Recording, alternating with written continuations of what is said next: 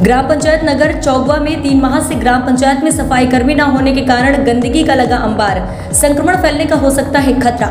इटौजा, लखनऊ विकासखंड बख्शी का तालाब क्षेत्र के अंतर्गत ग्राम पंचायत नगर चौगवा में पिछले लगभग तीन माह से कोई सफ़ाई कर्मी की नियुक्ति न होने से गंदगी का अंबार लगा हुआ है। इस ग्राम पंचायत में जगह जगह नालियों में कीचड़ भरा हुआ है और नालियों का पानी बहकर सड़क पर जा रहा है, जिससे संक्रमित रोगों का खतरा बढ़ता जा रहा है। वहीं पंचायत घर के पीछे कूड़े का ढेर लगा हुआ है। सफ़ाई कर्मी न होने से और भी ज़्यादा गंदगी बढ़ती जा रही है। वहीं जब ग्राम प्रधान माथु से जानकारी ली गई तो उसने बताया कि लगभग तीन माह से कोई सफ़ाई कर्मी की नियुक्ति न होने से ग्राम पंचायत में गंदगी का अंबार लगा है। कई बार उच्च अधिकारियों को इसके बारे में अवगत करवाया गया, लेकिन फिर भी किसी सफ़ाई कर्मी की नियुक्ति नहीं की गई।